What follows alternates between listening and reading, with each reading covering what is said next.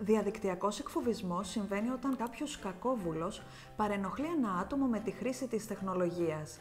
Η παρενόχληση αυτή μπορεί να γίνεται σε τακτικά ή άτακτα χρονικά διαστήματα μέσω οποιασδήποτε πράξης εκφοβισμού, επιθετικότητας, τρομοκρατικής ή αυταρχικής συμπεριφοράς. Ο διαδικτυακός εκφοβισμός περιλαμβάνει καταστάσεις όπως η αποστολή ανήθικων μηνυμάτων, ο αποκλεισμός ατόμων από εφαρμογές συνομιλιών, το hacking ενός ξένου λογαριασμού, η δημοσίευση ενοχλητικών φωτογραφιών, η διάδοση προσβλητικών φημών και άλλα. Ένα θύμα διαδικτυακού εκφοβισμού μπορεί να βιώσει μια πολύ αγχώδη κατάσταση καθώς τα μηνύματα μπορούν να σταλούν ανώνυμα και επομένως είναι δύσκολο να γνωρίζει ποιος είναι ο θήτης.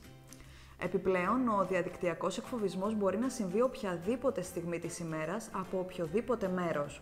Όταν λοιπόν τα μηνύματα ή οι φωτογραφίες δημοσιευθούν στο διαδίκτυο, προβάλλονται άμεσα σε πολλούς χρήστες και αυτό αναστατώνει τα θύματα που βλέπουν πόσο γρήγορα μία φωτογραφία ή μία φήμη διαδίδεται στο διαδίκτυο. Ο εκφοβισμός μέσω του διαδικτύου μπορεί να είναι άμεσος ή έμεσος, εμπλέκοντας και άλλα άτομα που ενδεχομένως να μην γνωρίζουν προσωπικά το θύμα. Σε αυτή την ενότητα θα μάθουμε τι είναι ο διαδικτυακός εκφοβισμός, ποιες οι διαφορές του από το σχολικό εκφοβισμό, ποιες μορφές μπορεί να πάρει και πού μπορούμε να τον συναντήσουμε, το προφίλ του παιδιού θήτη, ποιες οι συνέπειες του εκφοβισμού για το παιδί, ποιος ο ρόλος του παιδιού παρατηρητή, τι μπορούμε να κάνουμε για να προστατευτούμε και τι πρέπει να κάνουμε και πού να απευθυνθούμε αν μας συμβεί.